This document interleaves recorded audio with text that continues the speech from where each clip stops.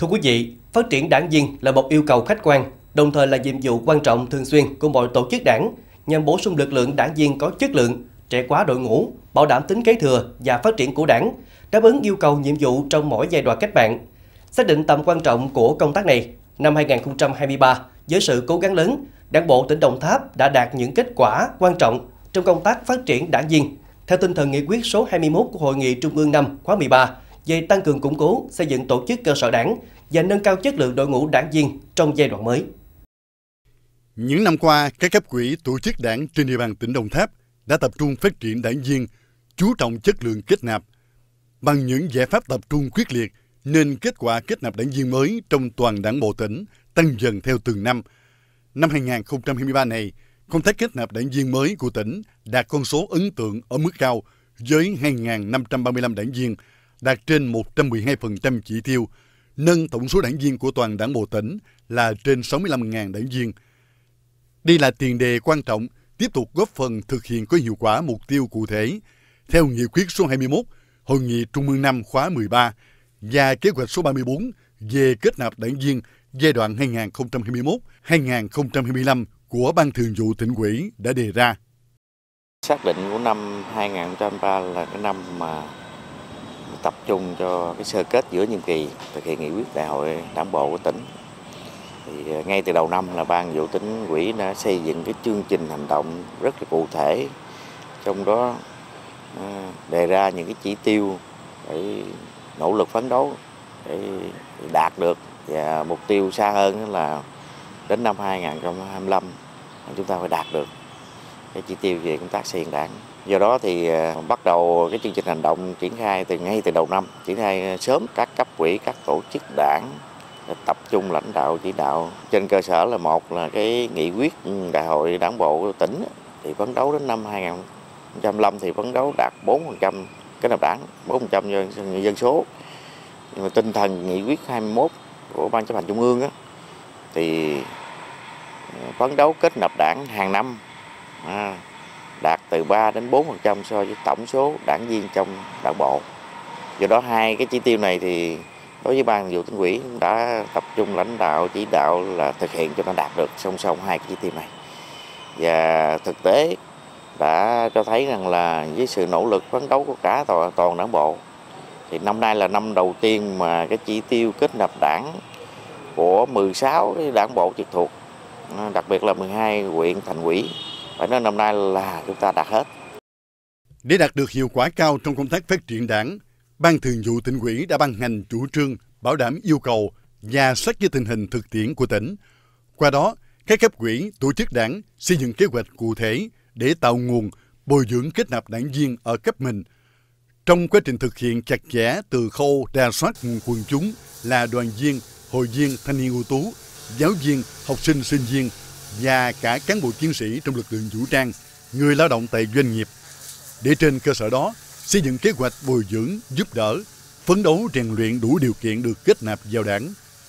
Nổi bật, đối với các cấp đoàn thanh niên, được triển khai sâu rộng nhiều phong trào hành động cách mạng, phát huy vai trò xung kích tình nguyện, sáng tạo của tuổi trẻ, trong xây dựng và bảo vệ Tổ quốc. Qua đó, các tổ chức đoàn trong tỉnh quan tâm phát hiện, bồi dưỡng và tạo nguồn giới thiệu đoàn viên ưu tú cho đảng xem xét kết nạp, đảm bảo được số lượng đoàn thanh niên đứng vào hàng ngũ của đảng, cũng như về chất lượng đội ngũ đảng viên trẻ. Qua đó, tỷ lệ đoàn viên Đoàn Thanh niên Cộng sản Hồ Chí Minh được kết nạp đảng trên 70% trong tổng số đảng viên mới của năm nay. Một trong những cái giải pháp mà chúng tôi triển khai đó là tạo một cái môi trường để giúp cho các bạn đoàn viên thanh niên À, có một cái cơ hội để nhận thức ừ, nó một cách à, đảm bảo hơn, chính xác hơn về cái ý nghĩa, về cái phương thức, đặc biệt là cái thái độ của chúng ta khi mà được bồi dưỡng cảm tình đảng hoặc là sẽ sau này đứng vào hàng ngũ của đảng khi là một cái đoàn viên ưu tú. Cái thứ hai là tạo một cái môi trường để các bạn tham gia các cái hoạt động để khẳng định cái vị trí của mình rồi đóng góp cho xã hội. Đảng viên trẻ Nguyễn Thị Thủy Tiên là một trong những trường hợp trưởng thành từ công tác đoàn thanh niên ở xã Vĩnh Thới, huyện Lai Dung. Thời gian qua, Thủy Tiên đã tích cực với các hoạt động phong trào ở xã đề ra, nhất là các hoạt động tình nguyện thanh niên, các phong trào tuổi trẻ chung sức xây dựng nông thôn mới. Qua đó, năm 2023 này, Thủy Tiên được vinh dự đứng vào hàng ngũ của đảng. Tuyên thệ tại lễ kết nạp, Thủy Thiên hứa quyết tâm phấn đấu để luôn xứng đáng là người đảng viên trẻ, đóng góp sức mình xây dựng địa phương, xây dựng đảng ngày càng vững mạnh. Em sẽ cố gắng dốc hết sức của mình, dốc hết trí tuệ của mình để góp phần vào đòn, vào đảng cho xứng đáng để không phụ lòng những người đưa em vào đảng. Cố gắng phấn đấu ờ, để xây dựng cho quê hương mình đẹp hơn. Công tác tạo nguồn của địa phương thì ờ, cũng ờ, rất là quan tâm đến trong các cái tổ chức của các hội qua các phong trào ví dụ như là đối với địa phương thì xây dựng cái chương trình nông thôn mới là nông mới mới nâng cao rồi à, các cái à, chương trình à, ví dụ gia đình chung sức xây dựng nông thôn mới rồi các tuyến đường kiểu mẫu rồi mô hình về cái thu gom rác của các cái hội thì từ đó mình để có cái phát hiện tạo nguồn từ những cái quần chúng tích cực. Thực hiện tốt công tác kết nạp đảng viên năm 2023 đối với lực lượng đoàn viên thanh niên, còn có đảng ủy cơ sở các trường học trên địa bàn tỉnh. Tại trường Trung học phổ thông chuyên Nguyễn Quang Diêu,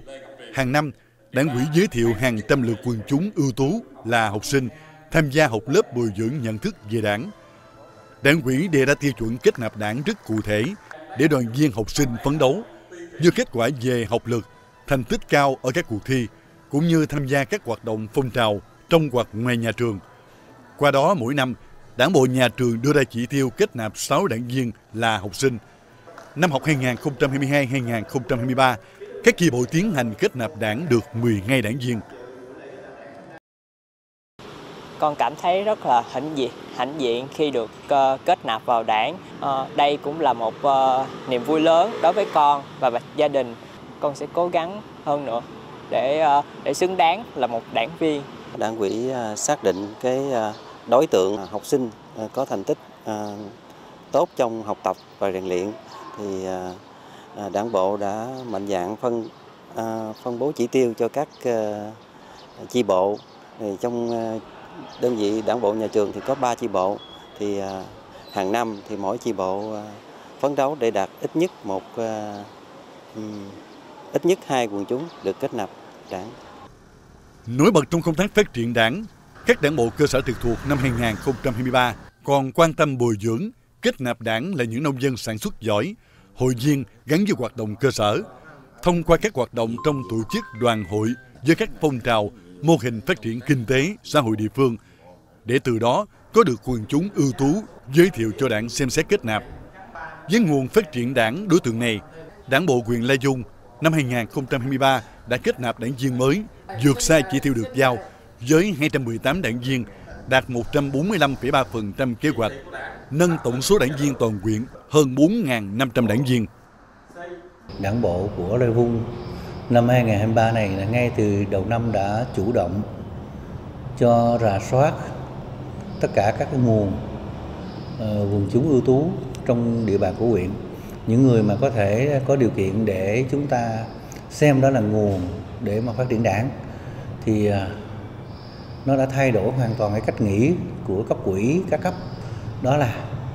nào giờ chúng ta cứ nghĩ là phát triển đảng viên là chủ yếu là nhắm vào cái lực lượng cán bộ, công chức, viên chức và người lao động trong cái bộ máy hệ thống chính trị.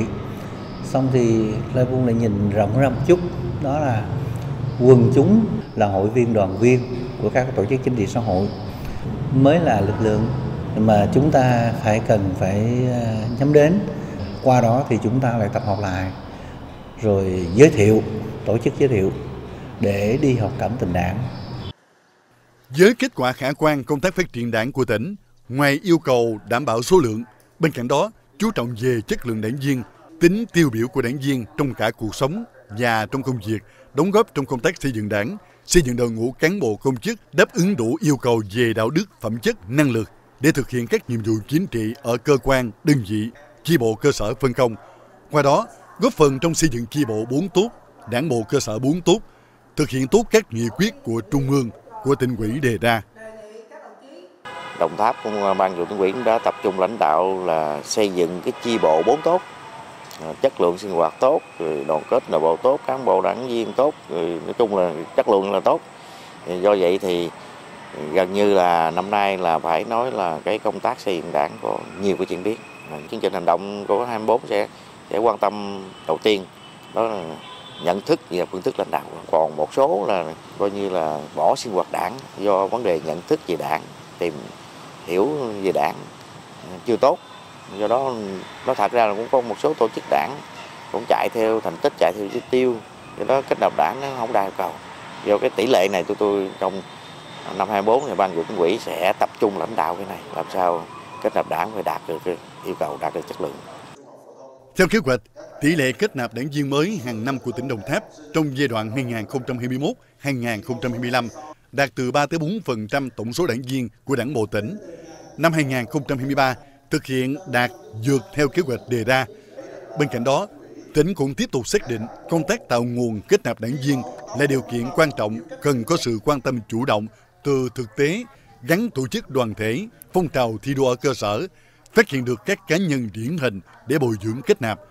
Đồng thời, tăng cường thực hiện đồng bộ các giải pháp giáo dục tư tưởng, xây dựng đội ngũ cán bộ đảng viên trưởng thành có đủ về đạo đức, phẩm chất, năng lực để thực hiện các nhiệm vụ chính trị là mục tiêu quan trọng để toàn đảng bộ quyết tâm thực hiện trong thời gian tới.